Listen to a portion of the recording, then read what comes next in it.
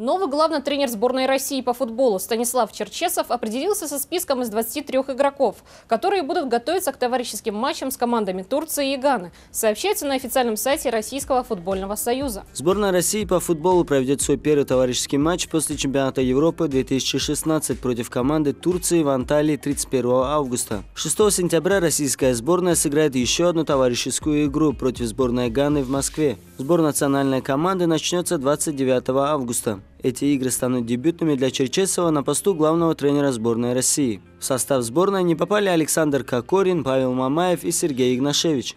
Вошли в состав команды Игорь Акинфеев, Сослан Джанаев, Станислав Крицюк. Защитники Сергей Петров, Василий Березуцкий, Юрий Жирков, Федор Кудряшов, Иван Новосельцев, Роман Нойштейдер, Андрей Семенов и Роман Шишкин. Полузащитники Олег Шатов, Юрий Газинский, Алан Загоев, Роман Зобнин, Максим Канунников, Магомед Аздоев, Алексей Миранчук, Александр Самедов и Дмитрий Тарасов. Нападающие Артем Дзюба, Дмитрий Полоз и Федор Смолов. К работе на учебно-тренировочном сборе будут привлечены еще три игрока – защитники Илья Кутепов, Марио Фернандес и полузащитник Роман Емельянов.